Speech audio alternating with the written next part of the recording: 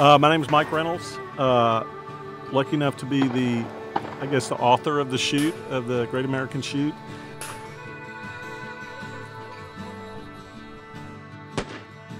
How we got there was in 2011. I got to compete in something called Maximum Warrior, which was a fun deal with uh, active duty special operations guys and civilians.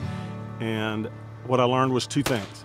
One is I had no idea at all what a special operations soldier, what their training was, and that these guys, about 10% of it is the fact that they're all-star athletes and they're trained to a level no other fighting group in the world is trained to.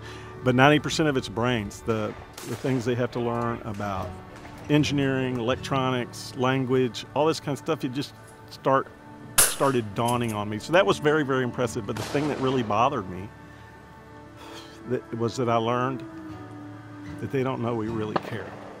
They don't know the average civilian really cares.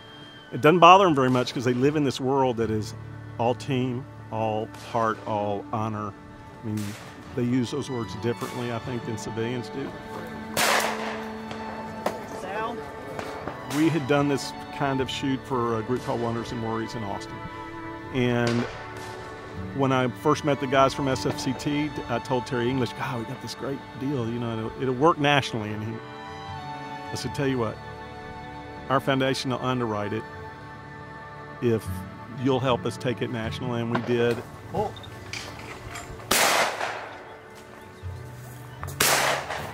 There's some incredible friendships between civilians and special operators that have developed that spend Thanksgiving gone hunting at their ranches, gone. It's unbelievable. Um, and that's what's been the most important part to me for civilians to get to meet these guys and find out how incredible they are, that how brilliant they are, and for them to get to see a group of you know 150 people, civil, normal civilians who are in awe of them and appreciate them. And what I used to say at every shoot, and I couldn't get through it, and I'll probably be able to here, is that I said, you guys need to understand that all across America, on pretty much every street, there are people there praying for you. The people care. They pray for you every single night. And I think we start to get it through their heads a little bit. They laugh and they grin. But there's some friendships that have been made here that have changed my life. So I'm really, really proud to be associated with the shoot and with Special Forces Charitable Trust.